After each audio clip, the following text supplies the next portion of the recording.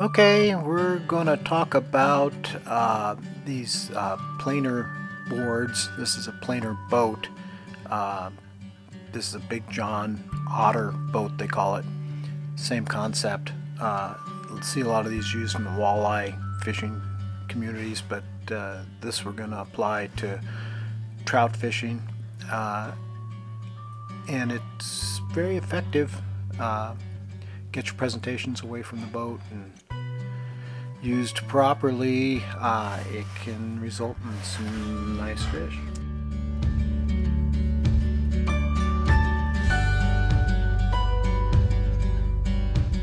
I'll go through the uh, setup, uh, how I've worked in this system on my boat. Uh, there's a few components involved and uh, once you get it uh, applied it's not too difficult to use and certainly solves a lot of problems that you might have uh, trying to fish these conditions.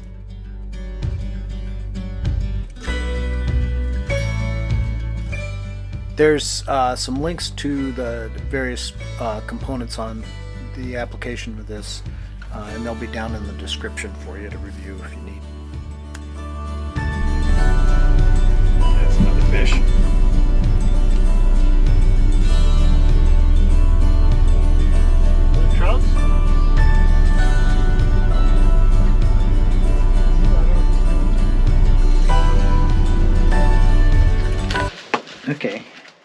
So uh, side planers, planer boards, uh, I use them uh, this time of year, especially. It's uh, kind of a late winter, early spring uh, presentation, and a lot of times fish are up on the surface, and uh, they'll be spooked by the boat. So it's nice to have a presentation that you can have where the boat pushes the uh, fish away from it, from the noise, and now you have your bait out away from the boat where the fish are.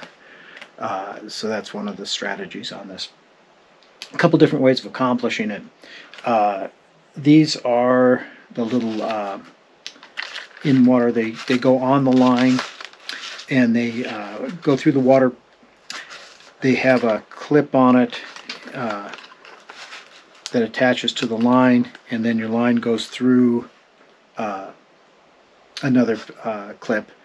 And so when the fish it's going through the water, uh, and then when the fish uh, is on the line, oops, actually it's this way.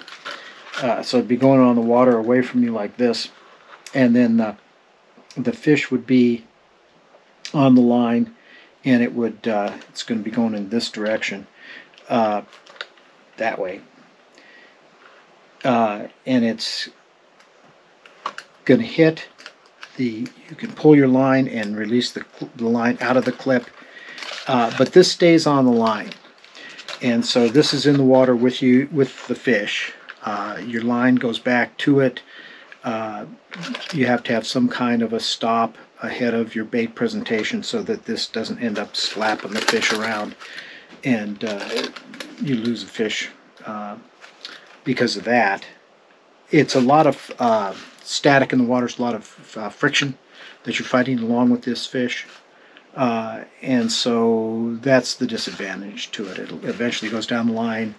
Uh, it's in the water with the fish, and now you're fighting this as well as the fish, so it kind of takes away from the from the fight that the fish is giving you. So uh, I've moved on from these, although I like the concept of them and I can catch fish with them.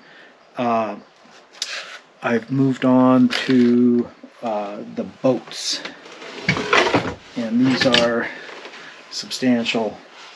They're big unit that goes through the water on its own. There's a clip that attaches to it uh, and then it is out and away from the boat. And I'll show you that later in the video. Uh, what that looks like. Fairly big, a little bulky in the boat to carry around. Uh, once you get them in the water, they're not a problem. It's got a reel uh, that has uh, the line on it that attaches to the unit itself. And there's a cable that comes out of the reel has a clip to it, like a downrigger ball clip basically. There we go. And it comes through a little guide. Get a little extra line to it. Clips to the boat. Clip through to the boat. And now put it in the water and sail it away from the boat. And it maintains a distance away from the boat and a line that now goes out to it uh, fairly heavy duty line. Then you have a clip. I like these releases as well as any of them. There's I've got several different kinds. Uh, these are good for uh, on the trout uh, that we've been getting because they release pretty easily, uh, but they hold on well enough to make a hook set. These are just basically uh, shower curtain old school hooks and then you, they open up, put them on the line, and then you send it down, put your line in the release like you would in a downrigger, and then it sends down the line and uh, goes as far down the line as you'd like it. The, uh, you set the pull up. Uh, usually you want to twist the line a little bit and then put it in there so it doesn't want to travel through. Uh, but uh, you put the pole in the pole holder, let the line out, and uh, whatever uh, line you give it, that's how far away from the boat it'll be, although the boat might be further than this is. I usually like to um, run these down very close to the boat uh, just because it seems to give me a better hook set on it. There's no belly in the line, and so the chance of the resistance to the fish so that it gets a hook in its mouth and, and purchases uh, seems to be more effective. Uh, and then you can adjust this. It's got a crank to it. You adjust that in and out to how far you want the boat away from you. I've got it close to me where I'm trolling with my downriggers. Um, and then that way I can adjust it in and out if I'm getting close to shore, some another boat comes by, whatever. I've got a pretty quick response uh, where I can get at this thing. I've got a uh, some nuts on the back of this that I use to attach it and then I'll attach it to my bimini top and I've got a little hole drilled in the middle of the bimini top and then there's a, a screw that I have coming through this uh, bracket so the bracket comes apart it fits in there and then that keeps it from wanting to twist uh, as I'm going down and then the nuts keep it from uh, falling off. There's also a little velcro strap that uh, goes up onto the tower and then from that there's a little swivel and a carabiner sits on that swivel uh, and that gives the line the correct angle so that it comes in and out of the reel more uh, cleanly. Put a link to uh, all those items in the description below as well if you need to find those. I've got it uh, through the Bimini top so it doesn't move around a whole lot. It's close to where I'm working uh, uh, my baits. Uh, you've got a control here that's line out, brings line in to whatever you want, and then it's got a couple points where it stops into a point where it nest, and then that keeps it from uh, going out any further.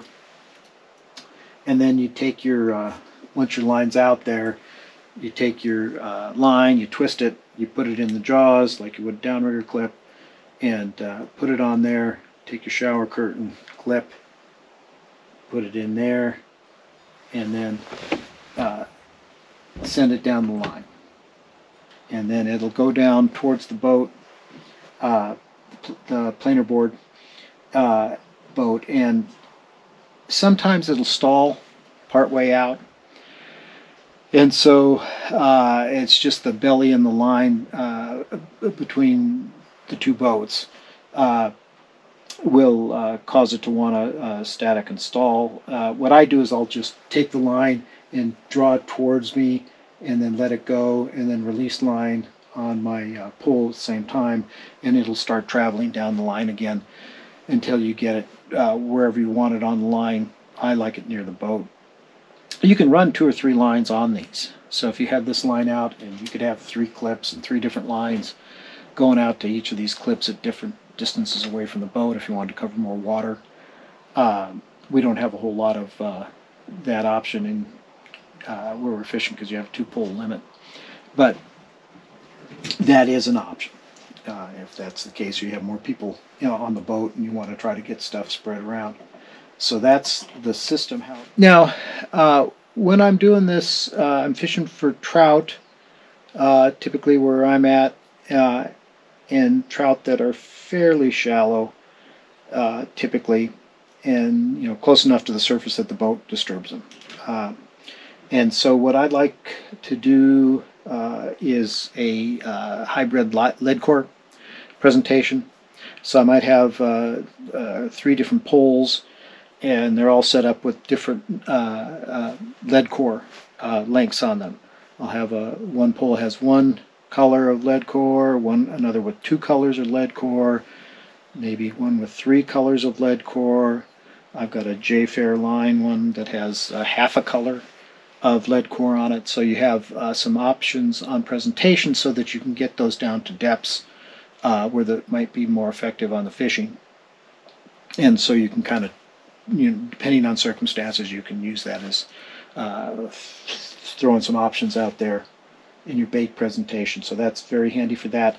The other thing that it does with a lead core presentation is uh, if I'm running four lines and I'm trying to run two lines out the back of the boat that are lead core, or even one that's out the back that's lead core, uh, almost without fail, you'll get a fish off a downrigger line. So I'll have a one line down on the downrigger, fish comes up on that, I release it, I'm bringing it in, and sure enough, it swims inexorably to that lead core line and tangles it, which is just a nightmare. So uh, by having your lead core lines out on the sideboards, then you can uh, get well away from this fish as you're bringing it in and battling it, uh, it comes out of play and makes life a lot more enjoyable. One less thing to worry about and one less tangle to have. Same thing with uh, as you're turning the boat, when you're trying to maneuver around, if you're trying to stay in fish that might be in a tight area, uh, because you're spread out so far, uh, with your lines, you have a capability of turning uh, and getting back into the bait and just presenting a more uh, varied uh, speeds to your lures, and that might trigger a bite. Uh, the other thing that happens in Pyramid Lake, especially, you'll have uh, wave action. You have substantial wave action. You know, might have a foot and a half of uh, chop on the water, and it acts. These these boats will pulse when they're on the water like that. So they'll come up on a wave and they'll hit the top of it like a surfer and then they'll shoot down the wave. And so that also gives that line like you're stripping it. It's very good presentation. A lot of times that'll trigger a bite too. So it comes out to be a very effective uh, strategy that I've been uh, using to some success.